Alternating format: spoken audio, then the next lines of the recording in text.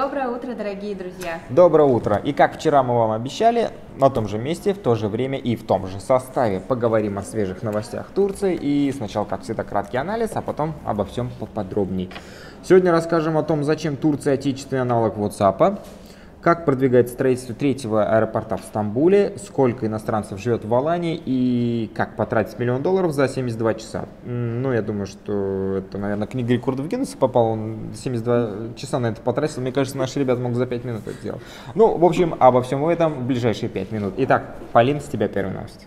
Итак, начну я с заявления нашего президента Реджепа Эрдогана. Итак, недавно глава государства заявил, что в Турции будут делать сами все, что только возможно, чтобы ни от кого не зависеть. Сейчас процитирую слова. Турция не станет покупать за границей то, что сможет сделать сама. Пусть мы потратим на это больше средств и времени, но будем пользоваться отечественной продукцией. Вот такое патриотическое заявление от Реджепа Эрдогана. Ясно, ясно. Ну, все, будем ждать. Э, все, у нас там обещали машину собрать, э, теперь еще WhatsApp будет свой. Вот. Итак, э, что там про WhatsApp? Да, WhatsApp у меня. Э, кстати, к примеру, в Турции уже начали работать над созданием отечественного сервиса моментального обмена сообщениями. PTT Messenger. Э, это в Турции так почта называется, если вы были не в курсе. Функции в нем будут такие же, как и в WhatsApp. Вообще он на него будет очень похож, но будет э, турецкого производства и будет, как заверяют нас, более защищенный, более безопасным. Сначала пользоваться начнут национальным сервисом сотрудники госслужб, а потом станет доступным для всех граждан Турции. Ну, как говорится, поживем, увидим, лишь бы пользователю было удобно. Ну, от меня новость про новый третий стамбульский аэропорт. Mm. Работы по его строительству завершены уже почти на 75%. И в октябре этого года аэропорт примет первые самолеты. Ну а чтобы вы почувствовали всю масштабность этого Давай. проекта, назову только цифры. Итак, в аэропорте смогут разместиться 3,5 тысячи самолетов.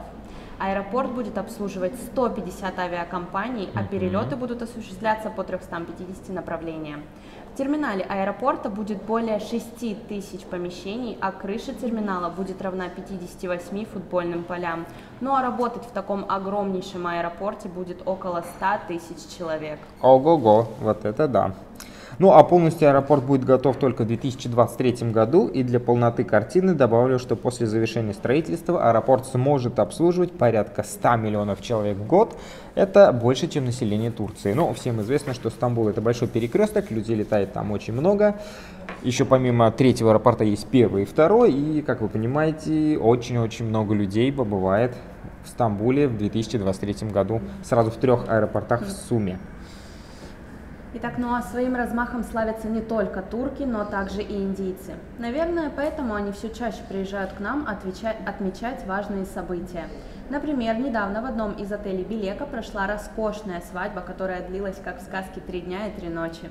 Гости из Индии потратили на ее организацию 1 миллион долларов – кстати, по словам устроителей подобных мероприятий, это далеко не предел, и в апреле в нашей анталийской провинции пройдет еще одна индийская свадьба, бюджет которой составит 15 миллионов долларов. Обалдеть, интересно, они там будут танцевать танцы?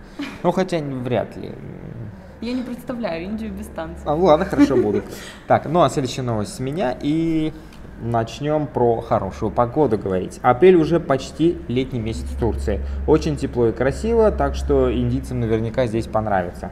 А, кстати, о погоде. На территории Турции стоит необычный теплый февраль. Сейчас за окном февраля я вижу, что там тепло. Хотя на следующей неделе обещают пару осадков, но прям чуть-чуть. А в южных районах даже аномально высокие температуры. А еще метеорологи говорят о том, что у нас больше не будет выпадать снег феврале в Турции, поэтому можно сказать, что зима закончилась. Ну, про дожди они ничего не сказали, а вот про снег они сказали, что больше не выпадет. Поэтому пользуйтесь возможностью и катайтесь на лыжах. Ну, а те, кто не любит лыжи, любит солнышко, радуйтесь, солнышко у нас будет почти каждый день. Вот. И, кстати, в Алании уже начали цвести тюльпаны в клумбах, а в моем комплексе около выхода зацвела красная помидора. Ну, а я завершу Наши новости, как обычно, новостью о нашей любимой Алании. Итак, подсчитали количество иностранцев.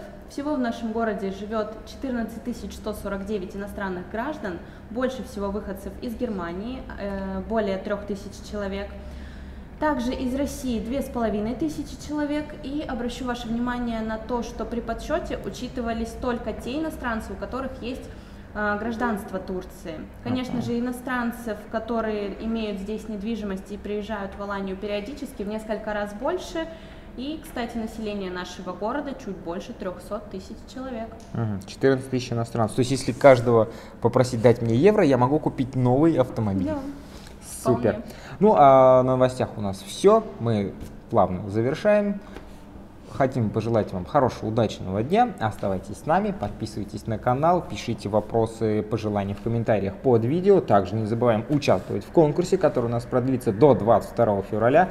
22 февраля в 10 часов мы узнаем, кто из вас самый счастливый. Поэтому оставайтесь с нами, следите за новостями. А чтобы следить за новостями, нужно воспользоваться функцией колокольчик. И тогда напоминания будут приходить вам на телефон, лэптоп и компьютер. Еще раз вам скажу, что у нас все. С вами попрощаемся до завтра в 10 часов в том же месте, в том же составе. Встречаемся снова. Всем пока-пока, удачного дня.